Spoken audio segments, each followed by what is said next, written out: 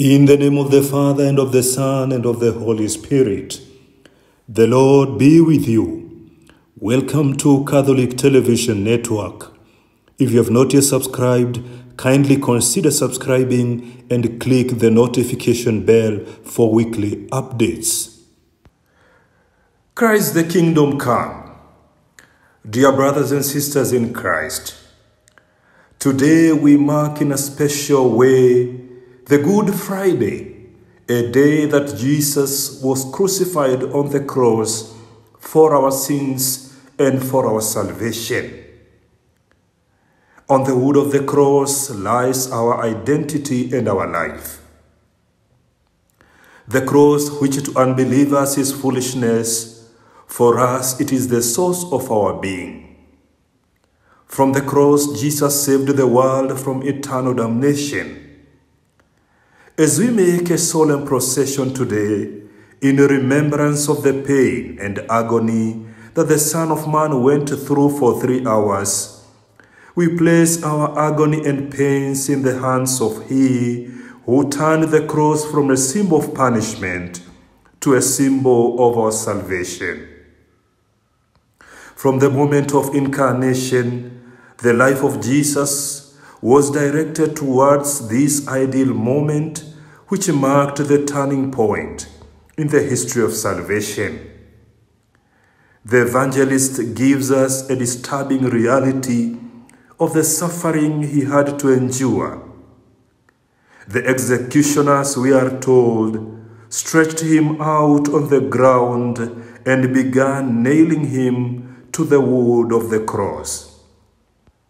The evangelist continued to explain this vivid and horrific experience when they placed the large nails into his palms, piercing his flesh.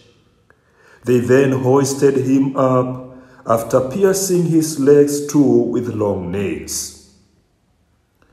They hoisted him as he hung on the cross straight from the vertical shaft of the wood. This horrific scene lasted for three hours as blood oozes out of his flogged and pierced body. Dying on the cross was a capital punishment which guaranteed a gradual but extremely painful death. Jesus has been waiting for this moment to redeem all men from the shackles of death.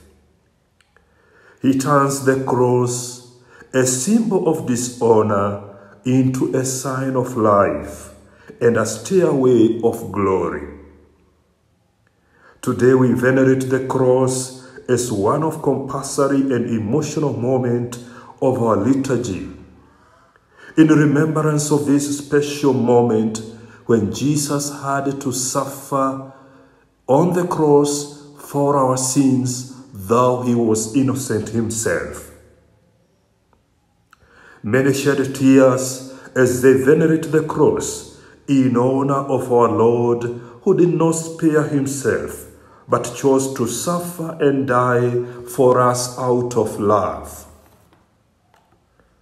Today is an important occasion for all those who believe in Christ.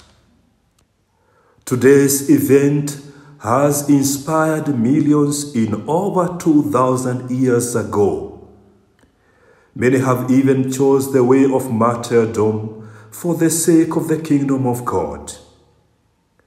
The triumph of the cross brings hope to the world. It is on this victory that the church introduced a feast of exaltation of the cross on 14th of September every year to make the faithful understand fully the power of the cross. Today we witness Jesus being raised on the cross, and he is surrounded by distressing reality where passerbys jeer him, and the chief priest throws scathing and sarcastic attacks on him. Jesus, on the other hand, does not try to reproach them. Instead, he demonstrates a lot of pity and compassion on his executioners.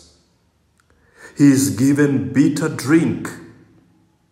St. Augustine says that Jesus had to go through all the suffering as a price for our ransom. Through the crucifixion of Jesus, our redemption is accomplished. Crucifixion was the most cruel and insulting form of execution which was known in ancient times. It meant a prolonged agony, and this was made even more painful when the executioners hastened your death by breaking the legs of those who were crucified. This cruel form of punishment was only for Jews, since a Roman citizen could not be crucified. The cross, as St. Paul says in 1 Corinthians chapter 1 and verse 23, it is a scandal for the Jews and folly to the Gentiles. But for us who believe in Jesus, the cross is the power of God. It is the fountain of our salvation. May the crucified Lord give us courage to face every trial in our daily lives.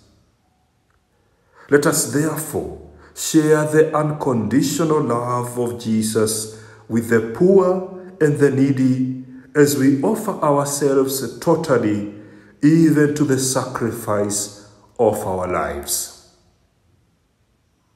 through Christ our Lord. Amen. The Lord be with you. May the Almighty God bless you, the Father, the Son, and the Holy Spirit. Amen.